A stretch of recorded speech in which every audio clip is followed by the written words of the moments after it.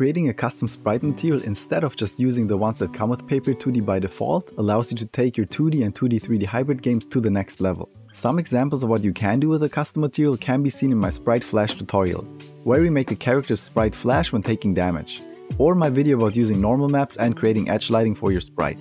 However, there are still many more use cases for making a custom material, such as recolors, outlines, and so on.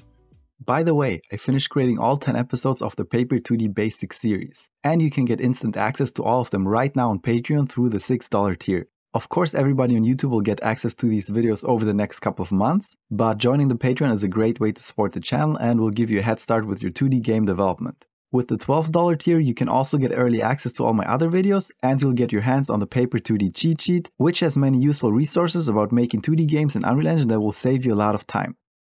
By default, the sprite material is set to masked unlit sprite material, which is great for 2D only games. When making 2D 3D hybrids though, you will most likely want to use the built-in masked lit sprite material to allow receiving of shadows and lights.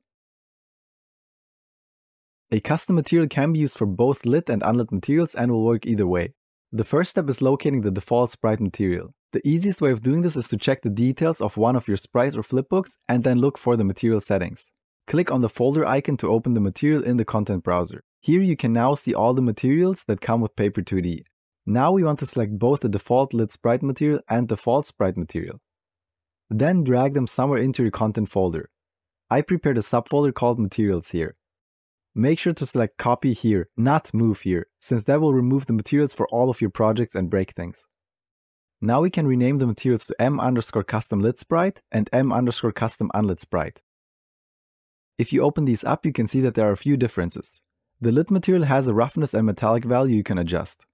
It also comes with support for normal maps. The shading model is set to default lit. The unlit sprite is a lot simpler and is missing some of the notes the lit material has. Here the shading model is set to unlit. Let's now create a material instance for each of these. Instance materials will allow us to easily make changes to them without triggering shader recompilation and should always be used. Right-click your custom lit sprite and create material instance. For the name, delete the underscore inst suffix and just call it mi underscore custom lit sprite. Then do the same thing for the unlit sprite material. On our sprites, we can now select either of these material instances. We can also adjust the project settings so that all new sprites use these materials by default. Here you can now select the lit default masked material and set it to our custom mi underscore custom lit sprite material. For the unlit default masked material, we can select our custom mi underscore custom unlit sprite material.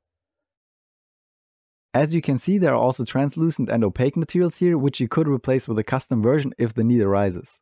When you create or extract new sprites, they will now automatically have the material you set up applied to them. However, this does not apply to flipbooks and you'll have to set it manually. This should then carry over to when you use the flipbook within a blueprint. And now that all of the connections between your materials, material instances and sprites are set up correctly, you can proceed to change whatever you need to within your materials and it will be applied to your sprites. As always, thanks to my patrons for making this tutorial series possible.